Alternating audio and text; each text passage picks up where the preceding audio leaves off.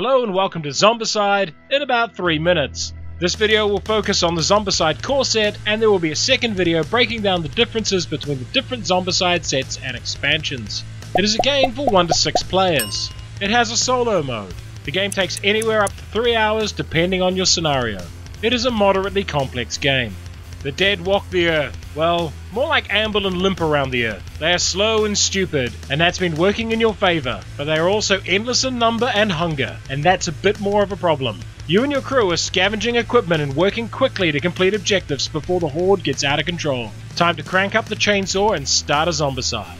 Before you set up the game, you will need to pick a scenario from the book, and they have different objectives. The players win the game if they complete those objectives without all getting eaten by zombies. Cooperative. The players work together and control a group of survivors. Dice. Zombicide frequently has you rolling a lot of dice for actions. Character development. Your survivors improve as the game goes on, but the game adjusts to that as well. Player turn. Play starts with the first player, who activates all their survivors, passing to the next player when they are done. Each survivor has three actions available to them each round. The most common ones are move, search, melee combat, range combat, and opening doors. Searching may only be done once per character per turn, and it must take place in either a car or an enclosed room. You turn over the top card of the search deck and either take it or discard it. You can find weapons, supplies, parts for a Molotov, or even zombies this way. To open a door, you need the right piece of equipment. Some unlock doors quietly, and others loudly. Draw one zombie card for each room in the building you've unlocked, place zombies in those areas, and then show that the door is now unlocked. You can fight zombies in your space with a ranged weapon if it has range 0 as an option, but more commonly you will fight with a melee weapon.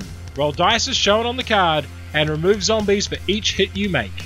Range combat works much the same way, except at range. Choose an area within the weapon's range and roll to hit, removing zombies for each hit you make. Range is also limited to line of sight, and you can only see into the next area within a building. For example, this area would be out of line of sight for the shooter. Movement allows you to move one area per move action. You can move out of areas with zombies, but it is very difficult. Some actions also cause noise, which impact on how the zombies move. Once all players have acted, Move the zombies towards a character they can see, or the loudest noise source if they cannot see a character. Draw zombie cards and place zombies at each entry point. It is now the next turn. Why would you like this game? While some zombie games focus on tension or survival, Zombicide focuses on action.